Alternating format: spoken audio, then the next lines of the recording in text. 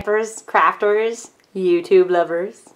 Thanks for joining me today. Today we are having a little chalk talk fun. Try to say that five times fast. Chalk chalk talk, chalk talk, talk. You can't do it. Ah! Anyways, we're going to be using the stamp set and the matching framelits. Huge shout out and thank you to all of my new subscribers and thank you all for your wonderful comments on my last video. You guys are the bomb.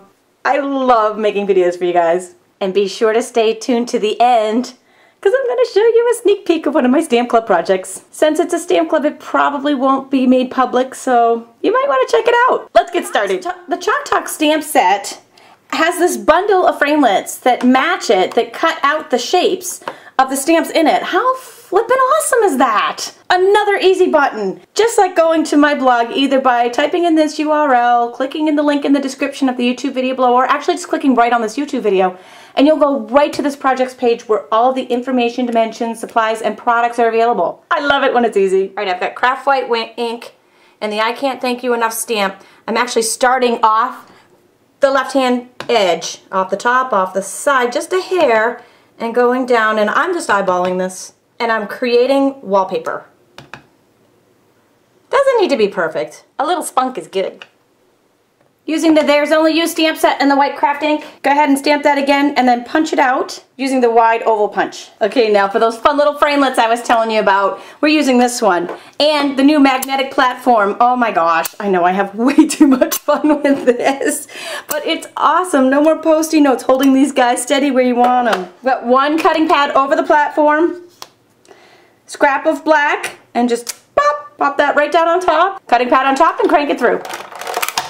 Isn't that awesome? I love it. It's such a great tag. So many uses for this guy. While the big shot is out, we will take the chevron impressions folder and I put that in so that the chevron goes landscape on it. Back to our original multi-purpose cutting platform on tab one.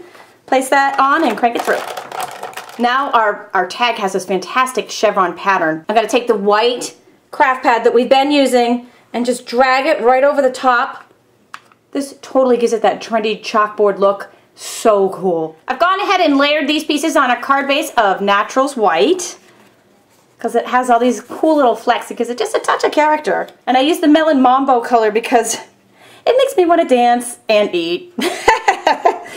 Melon Mambo, oh so fun. I'm taking some white taffeta ribbon for our tag. I've put a tiny little bit of snail on the front and ends and kind of in the middle here.